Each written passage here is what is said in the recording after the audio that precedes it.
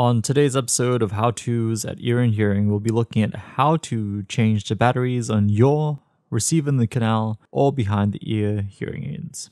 So, whether you're a new user or an experienced user who just needs a refresher, this is a great video for you.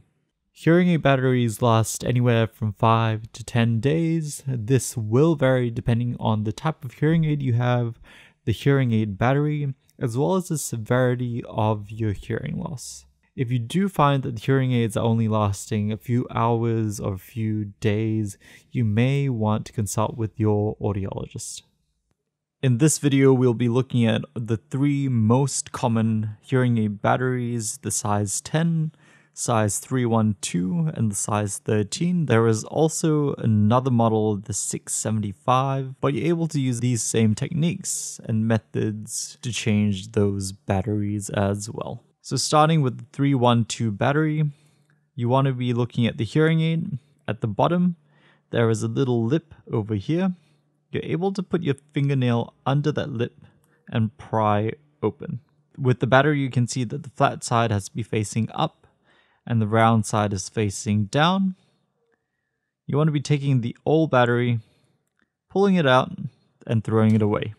If you do find it quite hard to insert and remove the batteries, most audiologists will provide you with an extra tool, one of these cleaning tools, and on the tip of the cleaning tool you'll see a small magnet.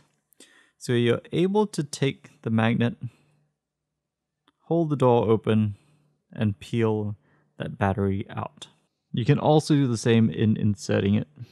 I found that those magnets aren't as strong as I'd like them to be because they are quite small, but there is an additional tool that they can provide which is slightly bigger. So that has a nicer hold onto the battery and you can pull it straight out.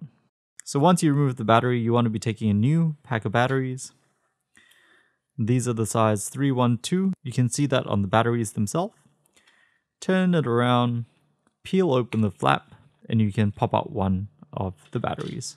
The 312 sticker is stuck to the flat side of the battery. So what I like to do is take the battery with the sticker facing up, so the flat side is facing up, holding on to the battery and peeling.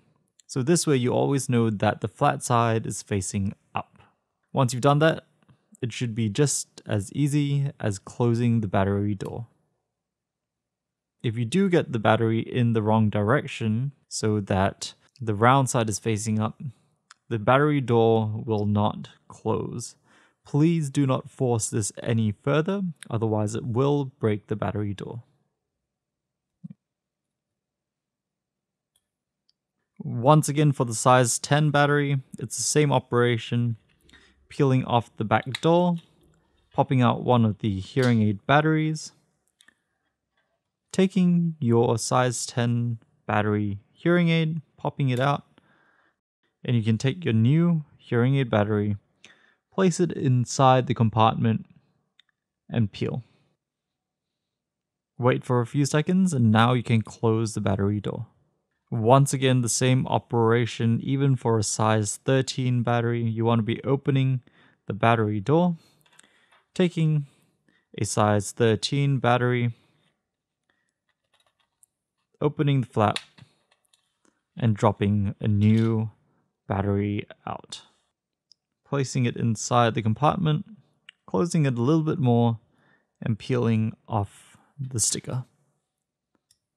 So whenever you change a hearing aid battery, you always want to be double checking that the hearing aids are working. Most hearing aids will give you a startup chime or beep to indicate that the hearing aids have now restarted. Another great way of checking whether it has started or not is when it's on top of your ear. Just give it a brush on top of the microphones. This will help you to tell whether the hearing aids are working or not. So thank you so much for watching this episode of How To's at Ear and Hearing, and I'll see you on the next video.